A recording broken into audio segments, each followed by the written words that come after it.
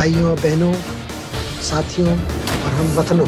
हमारे सीमा पर जबरदस्त हमले चीनी फौजों ने किए